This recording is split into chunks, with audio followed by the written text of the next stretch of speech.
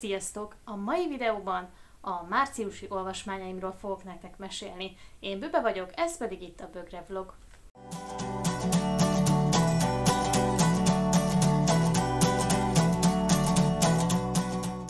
Márciusban 11 könyvet sikerült elolvasnom, ez ismét egy fantasztikus szám, és hát nem is húznám tovább a szót, kezdjünk el róluk beszélni. Az első könyv, hát most így méret szerint csoportosítottam őket, az első könyv az nem volt más, mint a Móra kiadó jóvoltából megjelent Cicák című nagyon informatív és nagyon masszív kötet, amelyben ö, különböző típusú macskákat ö, láthatunk, amik különböző dolgokat csinálnak, például játszanak, és hogyha ö, szeretnénk magunkat meglepni, akkor egy-egy ilyen kis fület lehajtva megtekinthetjük, hogy mit csinálnak még az adott macskák. Ez volt a hónap egyik kedvence számomra, aztán itt van még egy sorozatnak két része, Marik Veronikától a Boribon és az állatok, illetve a Boribon merre jár című könyv. Szintén nagyon informatívak, fantasztikus ábrákkal. Mm, tulajdonképpen az egyetlen problémám ezzel a könyvvel az volt, hogy túlságosan sok minden volt egy oldalon, és nehéz volt a szöveget értelmezni, ami így alapokon megjelent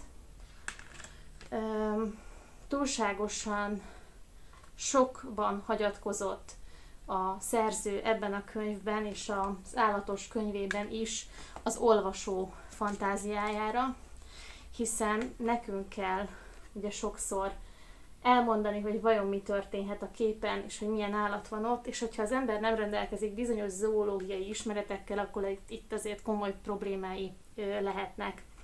Minden esetre ez is egy nagyon masszív kiadás, ugye a pagony gondozásában jelent meg. Itt van még szintén egy nagy kedvencem, Axel Schefflertől a Pip és Polly című sorozatnak az egyik darabja, a Super Roller. Lehet, hogy meglepő lesz, de a történet arról szól, hogy Pip rollerezik, amit aztán elvesz tőle Polly, és hát most nem szeretnék spoilerezni, szóval nem mesélném el, hogy mi történik, nagyon tragikus egyébként a végkifejlet. Megdöbbentő az, hogy mennyire kifinomultan kezeli Axel Schaffer az e fajta hétköznapi tragédiákat, mint ami ebben a könyvben is megjelenik, és egyébként megoldást nyújt erre egy uzsonnal formájában. Mind a két szereplő nagyon szerethető, mm, Pip egy kicsit jobban, mint Polly. Az interaktívabb olvasóknak ajánlanám a kukucs könyvektől a Hova bújtál kis rókát. Ezt a könyvet is nagyon-nagyon kedveltem. Ebben a hónapban ö, többször elővettem egyébként mindegyik könyvet, úgy körülbelül 567.378-szor olvastam el ezeket.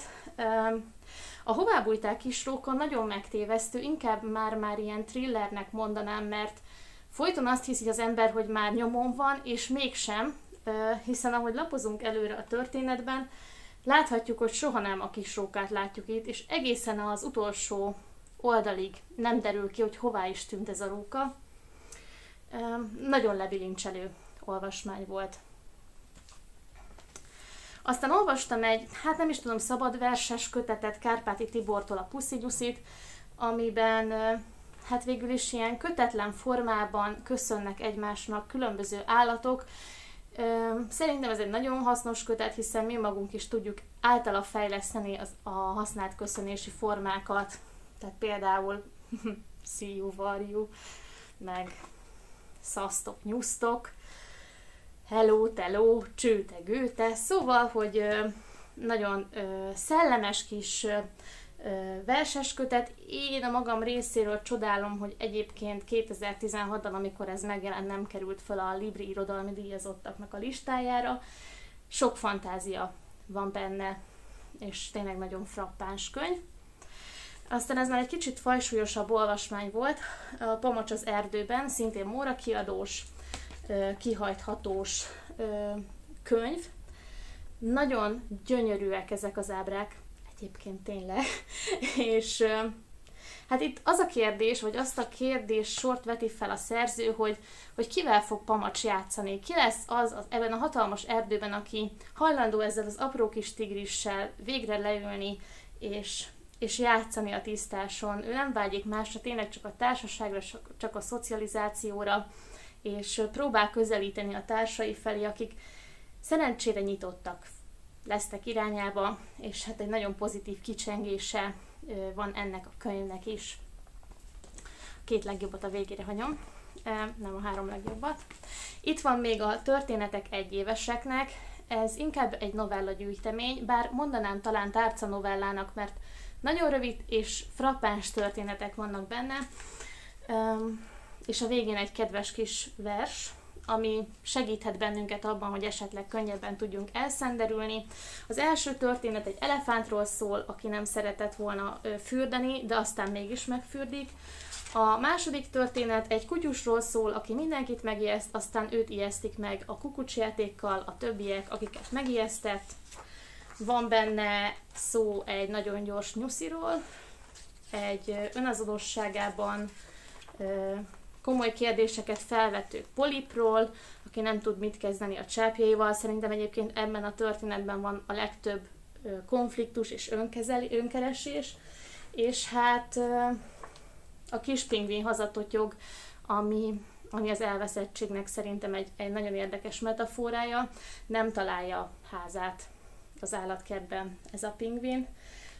Végül igen, tehát azt hiszem, hogy ez, egy, ez egyfajta reményt ad mindannyiunknak, hogy bármennyire is elkalódunk az életben, azért haza tudunk e, találni, és hát igen, itt a legvégén láthatjuk azt, hogy zakatol a vonat a hold alatt, és hát e, minden állat végül nyugovóra térhet, mi is megbékélhetünk a lelkünkkel, Emellett kellemes puha borítója van, úgyhogy még párnának is alkalmas, hogyha a végén elfáradnánk ebbe, ezekben a novellákban. De én azt javaslom egyébként, hogy osszuk be, és akkor minden nap egyet-egyet olvassunk belőle, nehogy túlságosan megterheljen minket.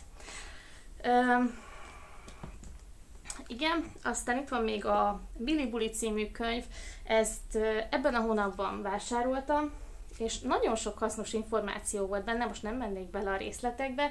Ugye én dietetikusként végeztem, azt mondanám, hogy minden fiziológiai ismereten túlmenőleg is tudott újat mutatni ez a könyv, azzal kapcsolatban, hogy mi történik a biliben.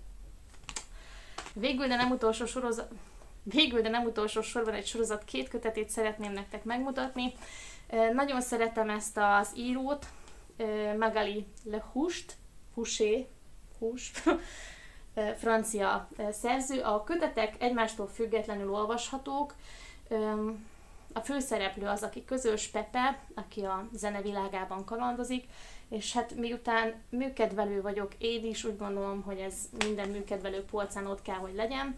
A Pepe és a zenekar a klasszikus zenével ö, ismertet meg bennünket, meghallgathatunk számos hangszert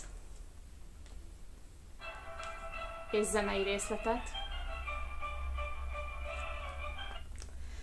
E, emellett fantasztikusak az ábrák, és hát, hogy őszinte legyek, tényleg szívem markoló itt is ez a, ez a történet, ami összefűzi az oldalakat, tehát, hogy Pepe egy zenekart alakít erdei állatokból.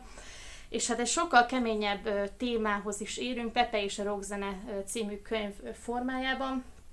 Itt Pepe rockzenekart alapít, hát sokan vannak ezzel így, ugye, hogy komoly zenei képzést kezdenek el zeneiskolában, majd, majd inkább a könnyű zene felé, esetleg a rock felé fordulnak, hát e, így tesz Pepe is. Hogy ez jelen fejlődés vagy bukás, vagy hogy itt elindul-e a főszereplő a romlás útján, hát ezt nehéz lenne megmondani még így első olvasás után. Érdemes ezt is újra elolvasni. Az azonban hát elég kétségbejtő, hogy egy öltönyös fiatalemberből egy bőrkabátos suhanc válik, aki Londonban randalírozva utcazenészekből szed össze magának egy zenekart, akik hát bűnös rock játszanak. Még nagy bőgősük is van. Persze a lemez felvétel itt megtörténik a kötet végén, de úgy érzem, hogy hogy hogy Pepe azért, azért szebb karriert és komolyabb életpályát is választhatott volna magának. Tehát ezek lettek volna azok a könyvek, amiket márciusban több ezerszer olvastam el. Bízom benne, hogy tetszett a videó, és mindenkinek nagyon boldog április elsőjét kívánok. Sziasztok!